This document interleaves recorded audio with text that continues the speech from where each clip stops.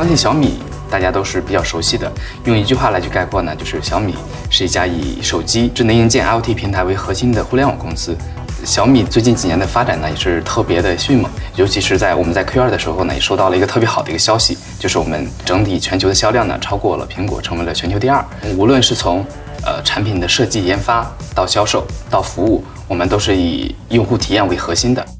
小米国际业务呢，发展是比较迅猛的。最早的时候呢，我们其实是依靠我们合作伙伴的自有的语音系统。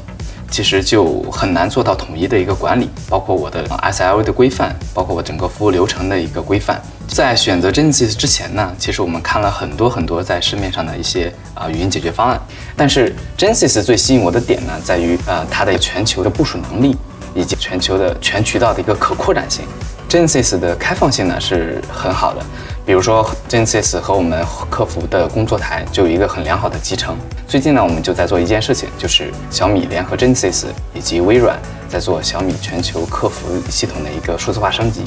我们小米国际服务呢，覆盖了全球大部分的地区，比如欧洲、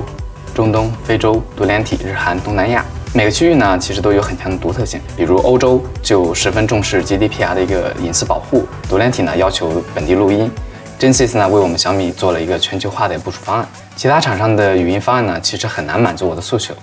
这也是我选择 Genesis 的一个点。其实小米呢一直在效率上呢是很追求的，比如说我们在嗯提出我们的需求的时候，以及到最终的落地呢只有不到两个月的时间，对这个时间是特别紧张的。Genesis 呢也最终能够帮我们做到一个很好的落地。我们上 Genesis 之后呢，其实有一个很大的提升，我们其实可以在实时的去监控我们的作息状态。包括去进行来访的监听，对于我们的用户来说，啊，整个一个 case 的一个处理效率呢，也得到了一个很大的提升。最终呢，我们的整个的客户满意度呢，也得到了一个很大的提升。